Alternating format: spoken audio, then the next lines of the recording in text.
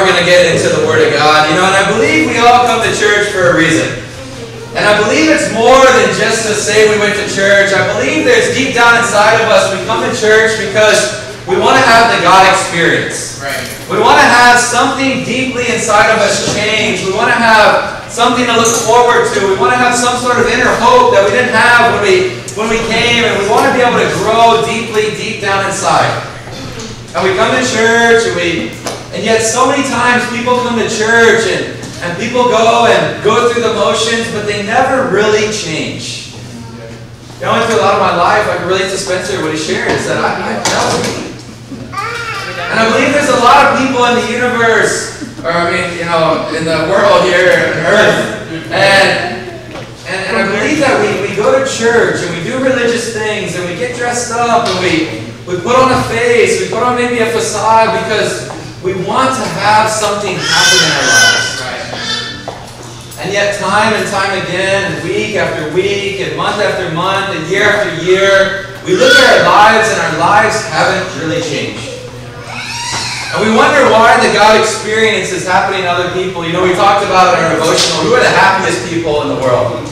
And, and people said, people on Facebook. And isn't it true? I mean, you look at Facebook and you're like, everybody's happy. Nobody's bummed out on Facebook. You just look through the feed and you're like, everybody takes awesome pictures. Everybody always has the best hair day and the coolest clothes. And everybody's doing, you don't put up, you know, people put up the selfie after they get like a nice haircut or something. You don't put up the selfie with like, wow, I really need a haircut and I'm struggling today, you know? And so we look at this and we think, wow, everybody's life is put together. And we think, man, if my life's just not put together, then maybe God's not blessing my life. And we, we, we come to church and we, we're trying to do different things to have this experience. We're waiting for this breakthrough.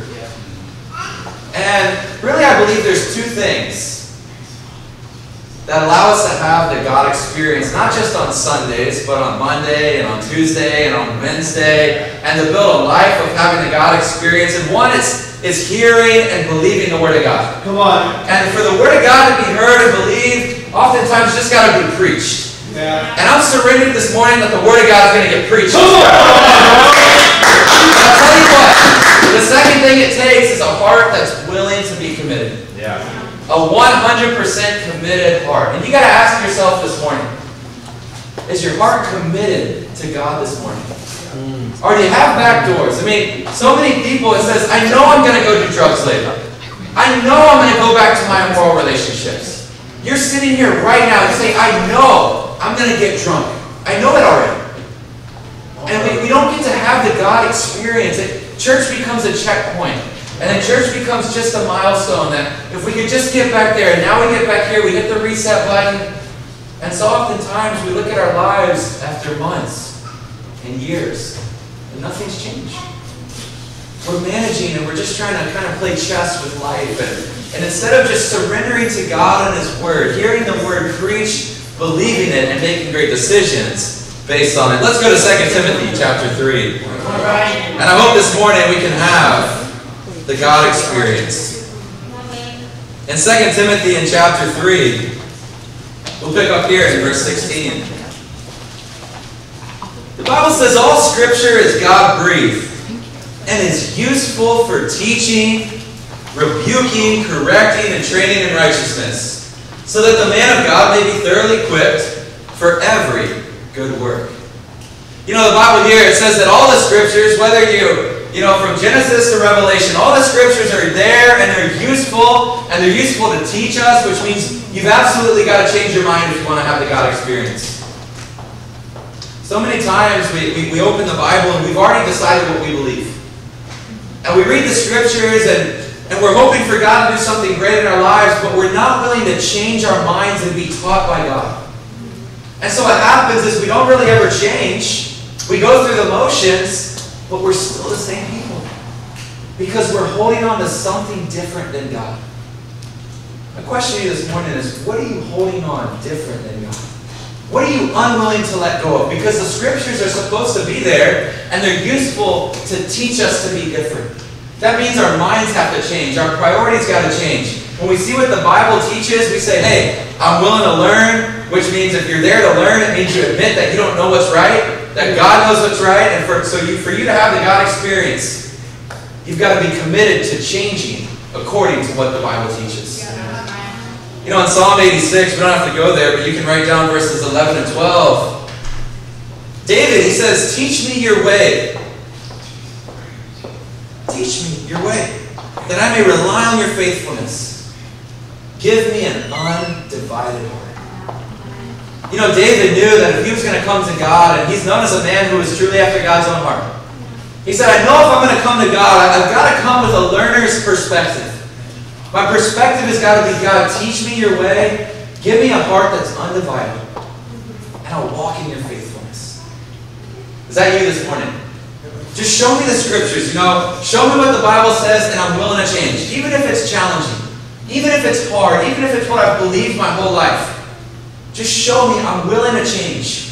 This is the heart of David, and it's got to be the heart of a true disciple of Jesus.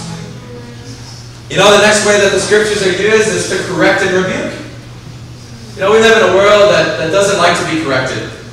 We live in a religious world that just wants to, to keep doing what it's doing and slap Jesus on it. And, and Jesus knows, I'm going to keep living my life, but I'm going to talk about Jesus. And then the, the scriptures come in people's lives to correct them and to rebuke them, and they get flat ticked off. Yeah. People just get mad when the Bible comes into their life. Flat out mad. I mean, the heart of David, if you read Psalm 141, verse 5. In Psalm 141 and verse 5, the Bible says, Let a righteous man rebuke me. That is oil on my head. My head will not refuse it. This guy was totally willing to be changed by the Word of God. My question to you is this morning Is there anything in your life right now you're not willing to change? Are you willing to let the Word of God correct you? For God to pull you in as the counselor and the teacher to say, hey, come into my office, right? He's going to pull out the Word of God and he's going to say, this is what needs to change in your life. And we've got to allow correction in our life. See, the Bible wasn't meant to uh, build nice buildings. The Bible wasn't built to uh, buy private jets. That's not why the Bible was, was given to us. The Bible was actually given to us that it would actually change our lives. It would change our minds, it would change our actions, it would change who we are, it would change what we believe, the message we invest in, and what we preach to the entire world. And for us to have the God experience, it starts with you. If you want the world to change, you first have got to change yourself according to the Word of God. The Bible is meant to train us. I think of, uh, I appreciate Courtney talking about the, uh, the Ducks football. You know, I, I mean, they give up finances for Ducks football. You give up your best of your health. You give up your creativity, your time, your, your opportunities, and you're devoted to training and, and, and football. And God's perspective is that you should give up everything to train in the Word of God. Yeah. But we live in a world that says you don't really need to train in, train, train in the Word of God. Just believe, come to an altar call, you'll be good.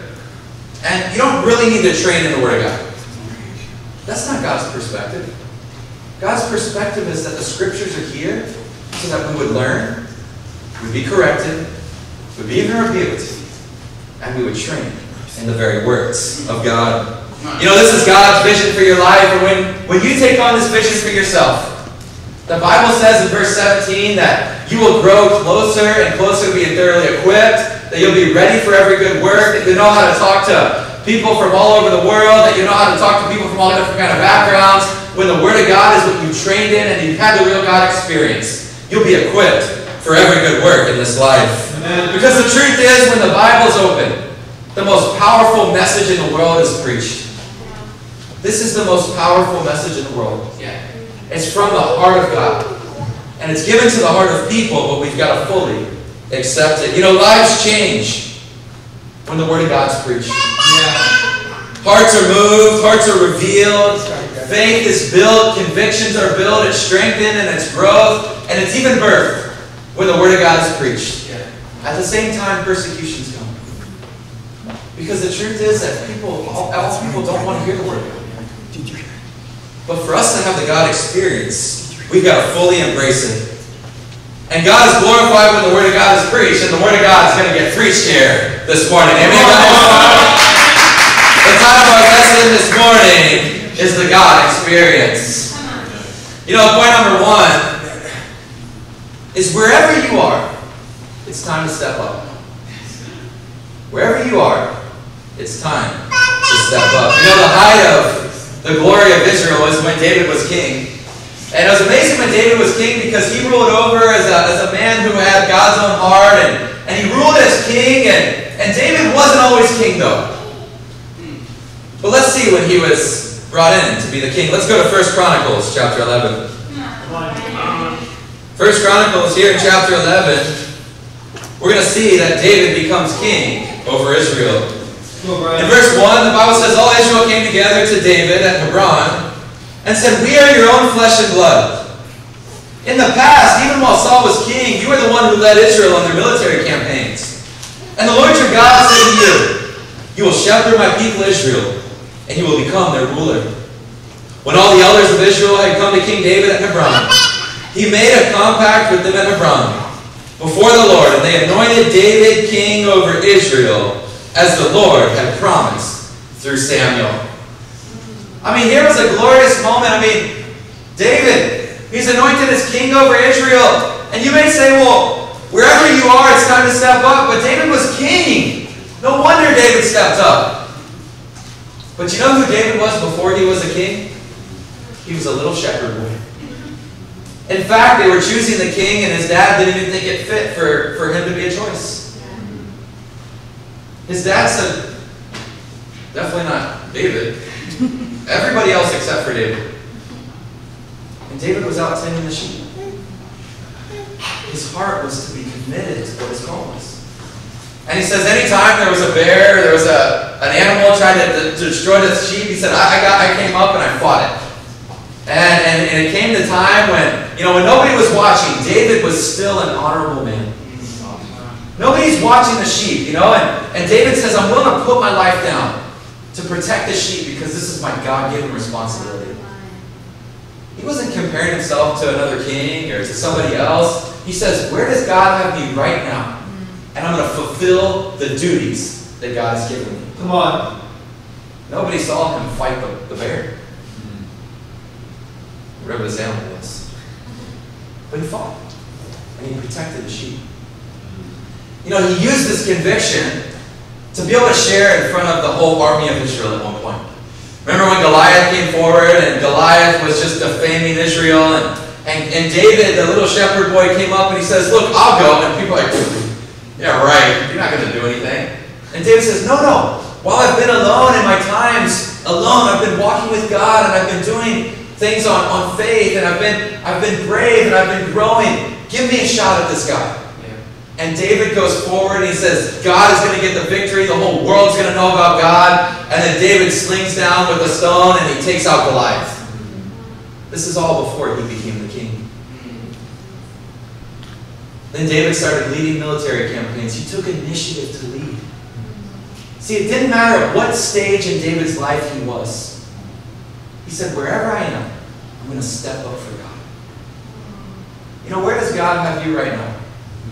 Maybe you feel like, man, I'm not the preacher, so I'm not really important. I'm not the Bible talk leader. I'm not discipling anybody. I'm not, I'm not the best teacher of the scriptures.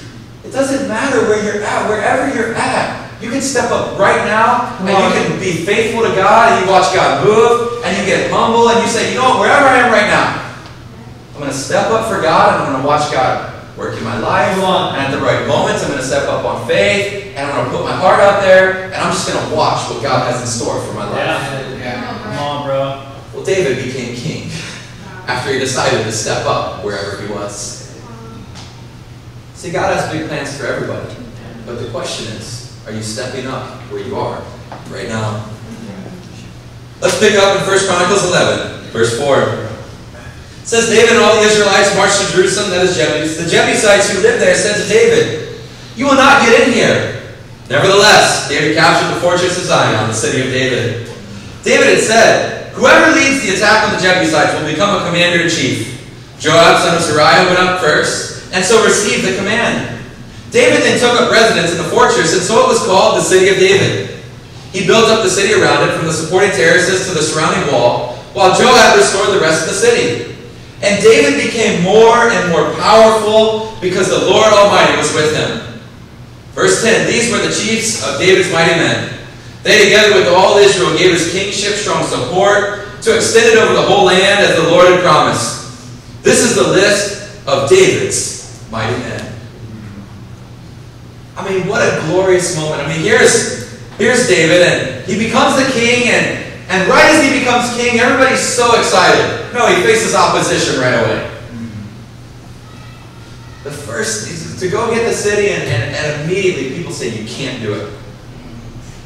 You know, do you, do you get faithless when people doubt?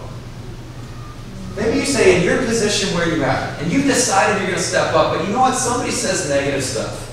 Maybe you get some sort of persecution. You get that little voice inside of your head that says you're not good enough. What's the point of trying? This isn't where you come from. Nevertheless, David said, No, we're going to go capture the city. I don't have time to listen to unfaithful people. I'm a man of faith, and I'm going to walk with God because this is where God has me, and I'm going to lead the people in a powerful way. I believe that right here we see the ABCs of leadership as David conquers the city. Well, I believe the A is he was anchored in the Lord. Look at verse 9. Verse 9 says, And David became more and more powerful because the Lord Almighty was with him. The ABCs of leadership is, well, first, A, you got to be anchored in the Lord. I got to ask you, are you anchored in the Lord each day? When you wake up, do you spend time with God or is class more important? Do you spend time with God or is breakfast more important? Do you spend time with God or are the worries of the day already overwhelming your life and so you're not really anchored in God, you're anchored in the world? The reason that David was able to do such feats was he was anchored in God. It says the reason he was so successful and he grew powerful because he walked with God. You know, so many of us, we, we put walking with God as a, a third, fourth, fifth priority. We put money, we put school, we put the worries of this life, even desires for other things, way ahead of God. And we wonder, why is our life not changing? Well, we just got to get anchored in the Lord. Why do we have quiet times every day to get anchored in the Lord? Come on. Yeah. Come on. Why do we Why do we pray daily to God? Because we need to get anchored in the Lord. And when we're anchored in the Lord, God's going to do great things in our life. Amen. Well, B. Well, before we get to B, I mean, let's talk about college. Oh. College does not teach you to be anchored in the Lord. Come on. College teaches you to be anchored in parties, be anchored in impure relationships, be anchored in drugs, be anchored in idolatry of school, idolatry of career, be anchored in the fear of just planning and worrying about tomorrow.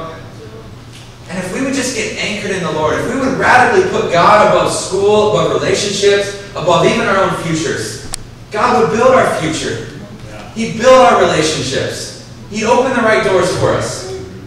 But we first got to get anchored in the Lord. Yeah. Well, B, he believed it could be done. Look at, look at verse 4. It says, David and all the Israelites marched to Jerusalem. That is Jebus. The Jebusites who lived there said to David, You will not get in here. Nevertheless, David captured the fortress of Zion, the city of David. I mean, he believed the Lord. And when you're anchored, you can't help but believe. And we understand that when we believe, it produces faith. And when faith is produced, man, great things happen. Nevertheless, I think that's a, that's something we should adopt as a church. You know, we should say, you know what? Finances are challenging, persecutions out there. You know, the the weather's groggy, but nevertheless, we're gonna believe in the Lord. Times are hard, I don't feel good, but nevertheless, I'm gonna go preach the word. Yes. I mean, David had a nevertheless attitude. You know? And, and he believed. And so he became a great leader. And the Lord, you know, we've got to believe that, that as disciples will have, always have people that speak against us. There's always going to be naysayers. We have a huge enemy. His name's Satan. Doesn't want us to be successful. And we've got to fight the good fight of being faithful. You know, how are we going to grow the church? Nevertheless, we're going to keep preaching the word. Come on. Come on. I mean, how are we going to raise missions? Nevertheless, we're going to keep raising missions. Come on. I mean, you may ask, how are we going to raise up great leaders? Nevertheless, we're going to preach the word, and God's going to bring great leaders into the kingdom, and people are going to rise up in the You know, as a perspective, is your glass half full or half empty?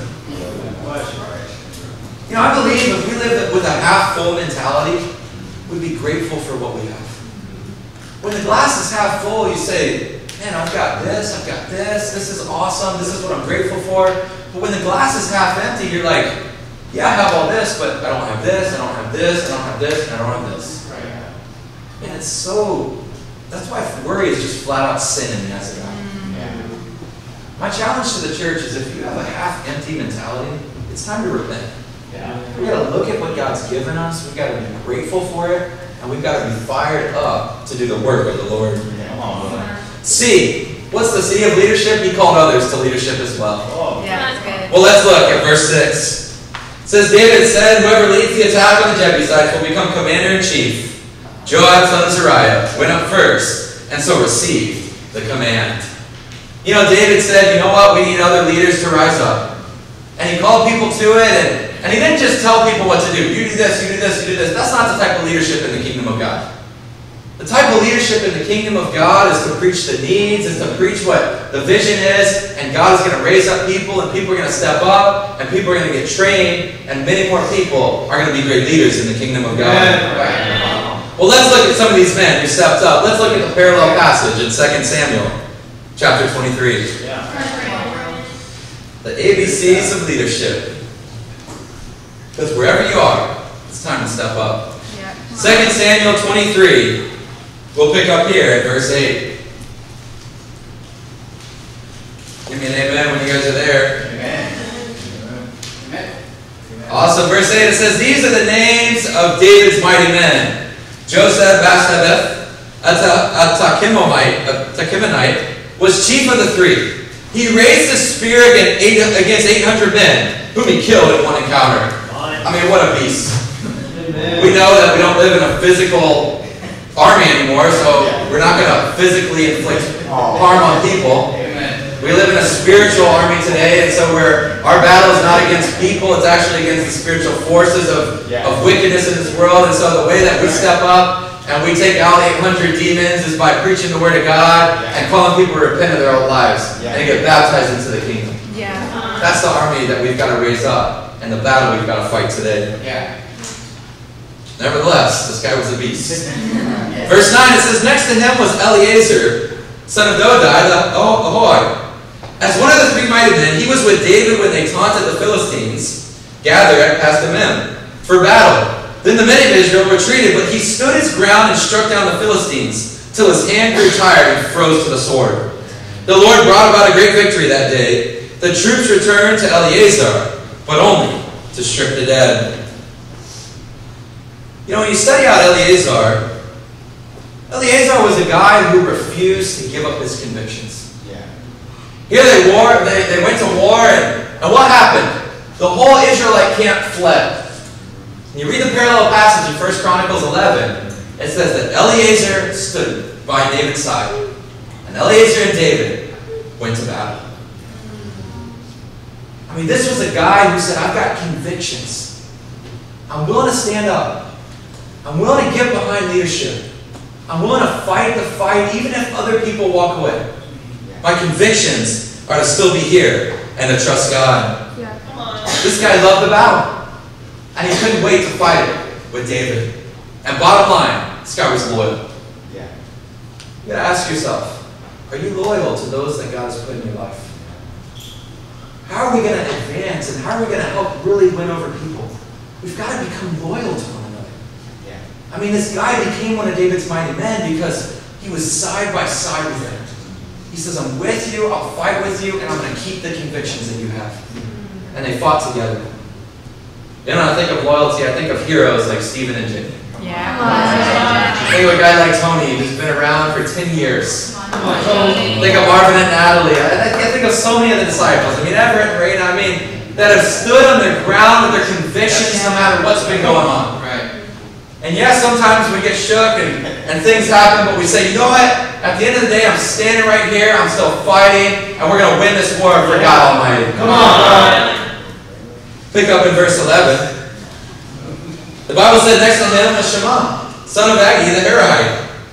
When the Philistines banded together at a place, there, were the, there was a field full of lentils. Israel's troops fled from them, but Shema took his stand in the middle of the field. He defended it and struck the Philistines down, and the Lord brought about a great victory. You know, there's been so many people that have preached so many incredible messages. And over time, have talked about so much, but but unlike Shema, there, I mean, Shema's here in the battlefield. His back's exposed, his sides are exposed, his front's exposed, and he says, I'm still here to fight, even if it's just me.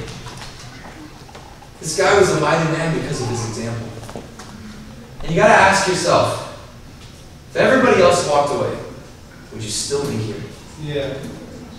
That's the loyalty we're called to build first with Jesus and God Almighty. But also we're called to fight like that with one another.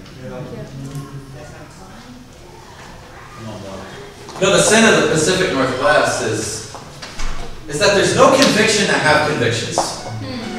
That's the sin of the Northwest. Uh, Ryan, uh, Ryan Hill and I would always joke around about how, you know, the Northwest is kind of like you get to a, like a four-way stop, and, uh, and you're like, no, you go. And they're like, oh, I couldn't. You go. No, no, no, you should, you should probably go. No, you, you should go. No, I, I would just feel bad. I think you should go. And then they put their cars in park and they get out and they say, I'm sorry, I'm so sorry. I just want us to be friends. We're friends, right? Yeah, yeah, we're friends. Okay, you should go. No, you, okay. I'll go just so we can keep going. That's the Northwest.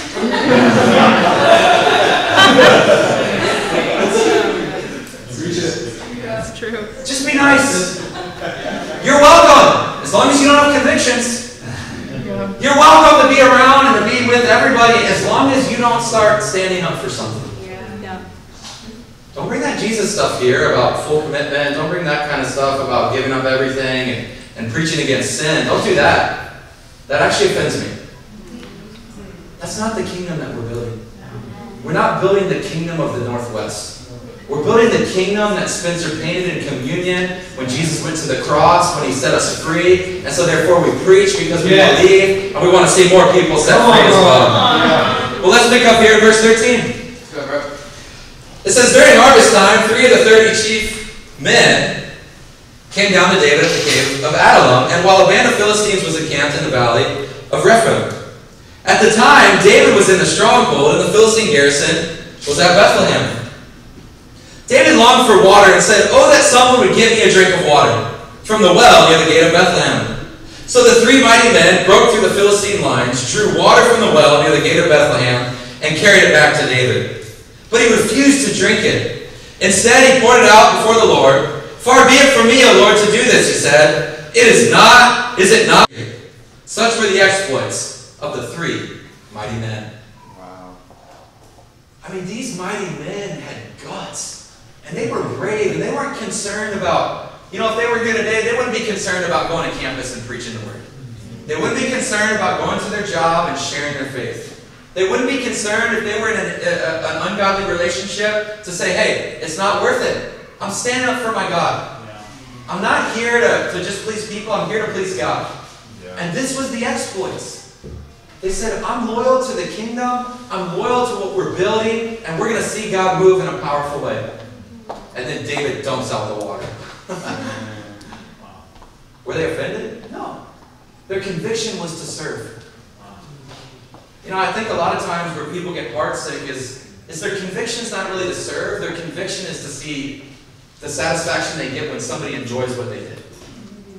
And sadly, that will lead to bitterness down the road. And bitterness will is it's this disease that haunts and destroys and kills you spiritually. Uh, I gave somebody a gift one time, and uh, you know, I was at like a something like a fellowship or something, and I put some thought into it, and then after the meeting was over, the gift was still there on the table, and I was like, I felt a little bit hurt to be honest, but then I was like, I didn't give him a gift so that I could feel happy about giving him a gift. Mm-hmm. I gave him a gift because I cared about him. Mm-hmm. And I believe when we have that mindset is that we have the conviction to serve, it doesn't matter how people respond. Yeah. When we study the Bible with people, you know what? There's going to be people that we pour hours and hours and days and our hearts and our tears and our efforts into. And they're going to walk away. It's not about the result. Yeah. It's about us responding in faith to God. It's about us serving because we have the conviction to serve. It's about us going after it and trusting God. And as people are willing to stand alone, we'll see God bring a great victory. You know that David and his men were mighty because they stepped up to the call. You know, maybe you're here this morning and you've been studying the Bible. And you know that you need to become a disciple and you need to get baptized and you need to walk and live as a disciple of Jesus. And you're just scared to step up. It's okay, that's where Paul was. Paul was scared to step up. I was scared to step up. You talk to so many people who've stepped up and become disciples, they were scared to step up. My challenge to you is step up, study the Bible, become a disciple, get baptized, and come fight this fight with us together. Amen. Come on. Come on. Maybe you've answered the call. Maybe you've already been baptized and you've, you, you know, you, you've been a disciple and you've just kind of been hanging out. What do you need to step up in? Have you taken the fight for someone challenge to heart? Our campaign to fight for someone. You know, I, I I appreciated Carissa shared good news the other day, and she, she shared about this incredible Asian woman, Phoebe. And she said, and, and that's who I'm fighting for. And she sat down. And I was like, that's awesome. The hardest, we've got somebody we're fighting for. You know, it's been amazing seeing Kareem really fight for Leslie, you know, and, and Spencer going after Caleb and Pullum and Evan, and, you know, Manuel with, uh, with Kelvin, and I'm so excited for Josue to be here. And, and just to see Jesse, and I know Steven's been, I talked to Steven, and he's like, man, I'm so excited for Jesse. He's going to come out to Bible talk, he's going to be at church, and, and to see Leslie. I mean, this is awesome. We're fighting for people. But maybe you're sitting here and you're not fighting for anybody. Wherever you are, it's time to step up. And it's time to answer the call and watch God work through us powerfully. Point number two is it's time to think globally and act locally. You know, Jesus absolutely instilled a global mindset into every single disciple he called to follow him. Let's look at it in Matthew 28. Each gospel writer records, records Jesus instilling a global vision into his followers. In Matthew 28, verses 18 through 20, the Bible says that Jesus came to them and said, All authority in heaven and on earth has been given to me, therefore go and make disciples of all nations, baptizing them in the name of the Father, and of the Son, and the Holy Spirit, and teaching them to obey everything I've commanded you. And surely I'm with you always, to the very end of the age. Yeah. Come on. Jesus didn't say, stay in the confines of Jerusalem. He didn't say, go to Galilee and just settle in your small little town. Right. He said, no, if you're going to follow me, you got to have the mindset that you're going to go make disciples of all the nations, that you're going to baptize, you're going to teach people to be obedient, and they're going to become disciples of all nations with a worldwide mindset, because Jesus was teaching them to think globally. But in order to do that, they had to, they had to act locally. You know, for us, we've got to have more of a mindset than Eugene or small town or you know, I'm excited to, that uh, you know Everett Rayner are going to be going down to Albuquerque, New Mexico, on a because they're thinking way more than Eugene. You know, we're going to miss them dearly, but they're going to be incredible missionaries. Yeah. Do you think globally? Is your vision here in Eugene? Or do you have a worldwide mindset? You know, why do we give missions? Because we're not trying to just build a big church in Eugene. Yeah. We're, we're, we're actually sending money out to international third world congregations. Yeah. To see what happened in Mexico City blows my mind. But why was that person's heart moved? And why is that church established? And why does the disciples in Mexico City now have a four-story church building? Because somebody was willing to give missions, and they were willing to give missions again, and again, and again, and the church rose up. And you know what? It wasn't too long ago that the church in Mexico City was hurt. And it was about 50 disciples. And now to hear they just had a service of 300 with 177 disciples. That is a result of the faith that we have in God and the giving of our missions contribution. Let's look at Mark chapter 16. Mark 16 and verse 15. The Bible says, He said to them, Go into all the world and preach the good news to all creation. Whoever believes and is baptized will be saved, but whoever does not believe will be condemned. What is Jesus instilling? A global mission. Not a community church. A global mission. But in order to build a community church, you have to act locally, but have the vision to go globally. Yeah. Well, let's look at John chapter 13. Here in verse 34. John 13, verse 34. Give me an amen when you guys are there. Amen. The Bible says, A new command I give you, love one another as I have loved you, so you must love one another. By this all men will know that you are my disciples, if you love one another. Yeah. What was Jesus instilling as you act locally, as you love one another, another locally? This is the message that is going to go global. And he was constantly expanding their vision. That you're not just a small town church, you're actually part of a worldwide mission. Well, let's go to Acts chapter 1. In Acts chapter 1 and verse 8, the Bible says, But you will receive power when the Holy Spirit comes on you, and you will be my witnesses in Jerusalem and all Judea and Samaria and to the ends of the earth. Yeah. I mean, Jesus, throughout his entire ministry, at the end of his ministry, and then he goes up to heaven, he instills it's a worldwide movement that's going to be built. It's not a local, just a, a- an autonomous group that's in a city and then there's other people doing their thing in other cities. No, he says build a worldwide movement that is going to reach the nations. Come on. You know, but you got to ask, is this your vision today? Are these where your hopes and dreams are? We're going to be given missions contributions over and over until we meet Jesus, guys. And we've just got to build a lifestyle of world missions. Absolutely. And if that's not our heart, we're going to get burnt out. Yeah. If our heart is to give special missions to ourselves, and, and that's what we do in this life. We say, you know what, I'm going to save up this money and I'm going to buy this nice big screen TV. And we get a special missions TV for ourselves. I'm going to save up all this money and special missions for me. I'm going to buy this new game console, and I'm going to buy all these new nice things, and I'm going to have my own special missions because I'm building my own kingdom. No, our mindset's got to be we're building God's kingdom. Yeah. And so we're going to have special missions the rest of our lives as Yeah. disciples. Does that mean that we can't live okay? And no, we can totally live and, and be in society. But it means don't put yourself or, or your lifestyle above the mission to reach the nations. Come on, bro. There it is. Yeah, come on. You know, and truthfully, to tell you the truth, I mean, it's happening here in Eugene. I love being part of the sold out movement.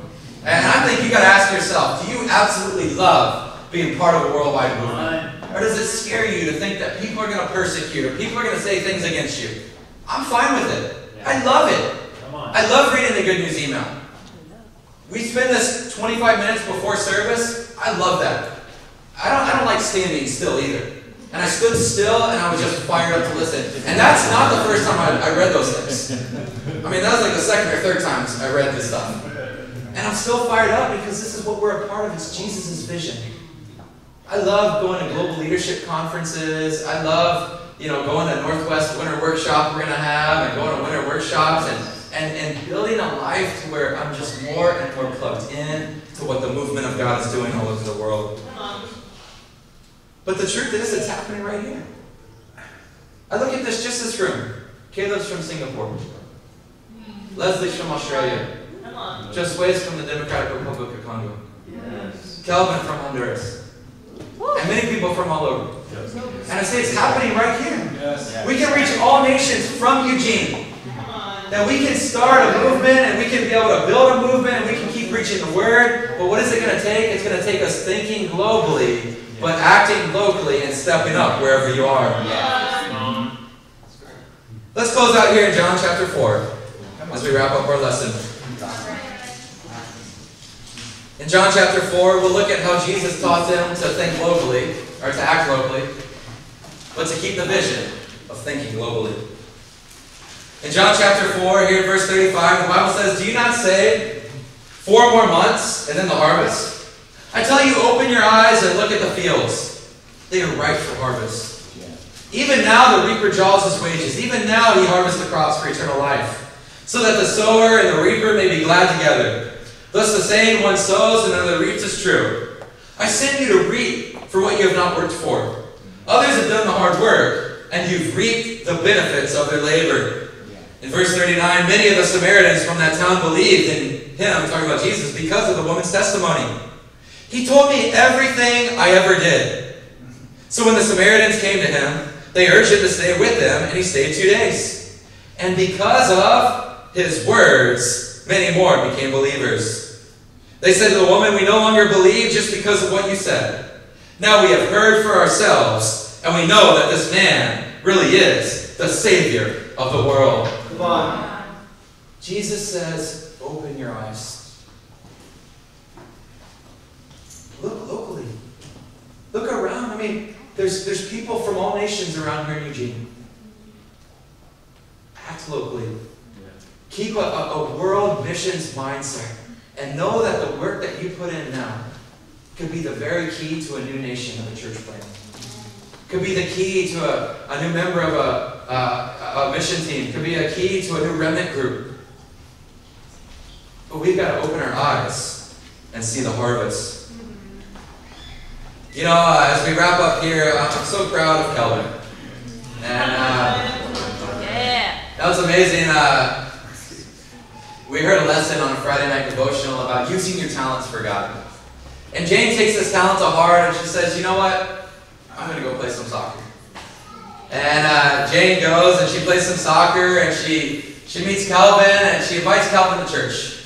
And Calvin comes out to church and, you know, Calvin's a sharp guy. I remember the nice haircut he had. He was pretty much, had just pretty much come from Honduras. Is that right? Yeah. And he had a really nice haircut.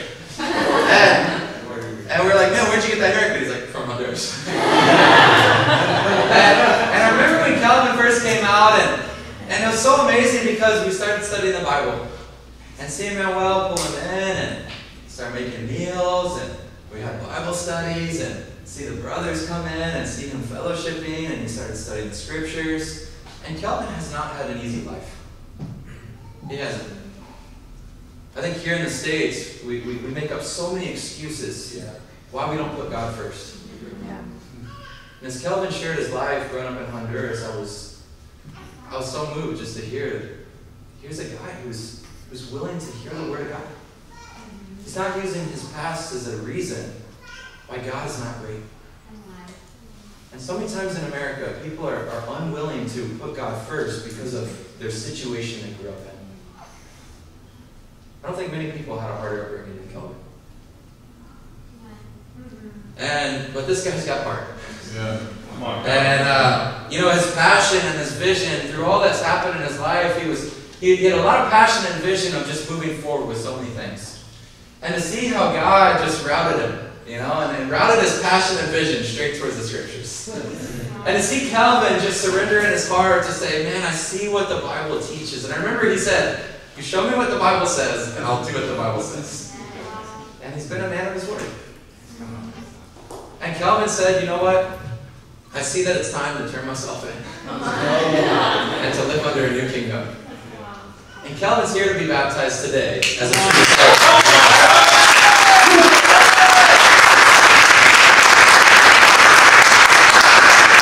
other thing that was so moving was we talked about being part of the worldwide movement and, and having vision to go to be able to go back to even your hometown and preach the word and, and one day even plant a church. Yes. And Calvin says, Calvin says it'd be good to give back. And he's already dreaming as a worldwide missionary. And I believe God's brought him here to Eugene to, to train and to build deep relationships. And, and maybe that's not for 5, 10, 20 years. I don't know. But I know that there's an incredible disciple here. He knows Honduras.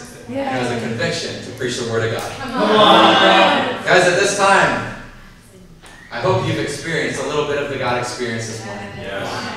And I hope that you've got the conviction that wherever you are, it's time to step up. Yeah. And that you're willing to get out of maybe a small town Oregon ball and to think globally, and to act locally, because the fields are ripe and the harvest is plentiful.